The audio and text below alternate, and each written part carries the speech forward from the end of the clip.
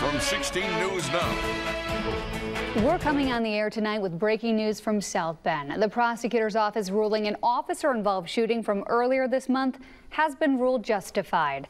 We want to go right to Joshua Short live outside the South Bend Police Headquarters where a news presser just wrapped up. So Josh, what can you tell us?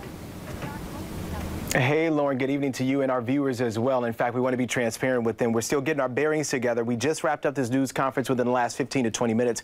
So we're trying to understand exactly what took place here. But that news conference, we learned a lot here on what happened June 11th, right in that parking lot on Niles Avenue in LaSalle. We learned a lot about what took place and also the interaction that took place between the 69-year-old who was killed in that shooting by police, which again has been ruled justified. We also learned that the interaction interaction between the two officers, one of which who's been trained for incidents like this one, which we'll talk about a little bit later on at 5 o'clock. They were talking with this person, the suspect, for more than two and a half minutes before shots were even fired. Now, keep this in mind. A lot of people ask, was a taser approach used in this? We learned today there was indeed that approach. However, the taser was not effective in this case. And we'll talk a little bit more about why. It had to do with his clothing potential, his clothing potentially. There were several layers that the suspect at the time was wearing. Maybe that's one of the reasons why, according to officials. But again, there's an active internal affairs investigation still ongoing with that. I asked the chief after we learned about the facts of this incident. and Obviously, we learned a little bit more from prosecuting attorney Ken Cotter in the initial press conference earlier today about the interaction itself, right? Three minutes we're talking here in the shadows of Oaklawn Mental Health Center. We talked about that specifically because a lot of people talk about how usually these incidents happen so fast. For those officers, one can only imagine it happened what was a long period of time. Here's what he said to that question. Listen. Yes, I, I mean the longer the better. The like our our theory, uh, and it's empirical on my part. However, or anecdotal as well that the longer talking, the less something happening. They tried up until you saw, until there was a point where they had no other options. That appeared to me. Again, this is going to go through several layers of committees and everybody else to review these uh, before it comes. But uh, as you saw, the exact same thing that I did, not seen anything different than what you all have seen.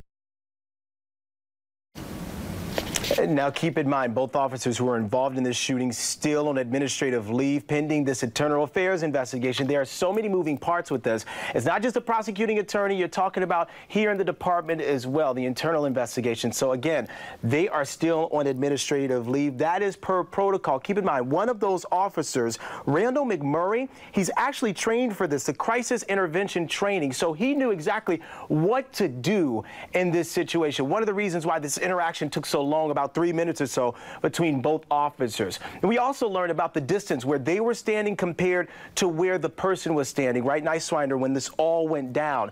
That's, again, very important when you're talking about details here and the facts of this incident and what took place before shots were fired. We had three different angles, too, Lauren, as I bring you to the conversation. We had both officers' perspective, but also in-car cameras. So a lot of people in the community may have questions.